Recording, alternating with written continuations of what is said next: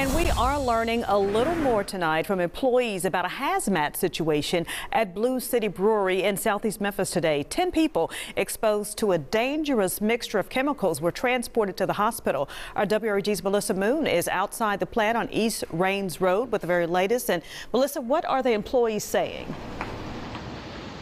Well, they're saying it was a scary situation and that those chemicals were strong. Now, one person was taken to the hospital in critical condition. The others are expected to be okay.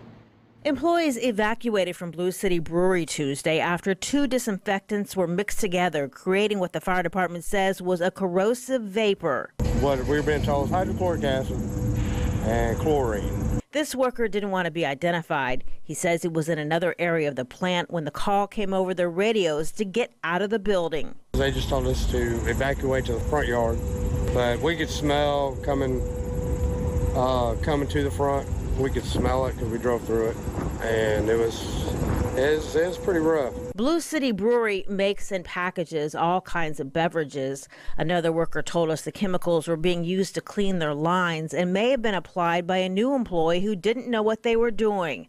The fire department says 10 people who came in direct contact with the chemicals were transported to the hospital and there was no threat to the immediate area. We neutralized and had everyone kind of in an area um, safe distance from the chemicals. Around 350 employees were evacuated from the plant, but eventually allowed to return.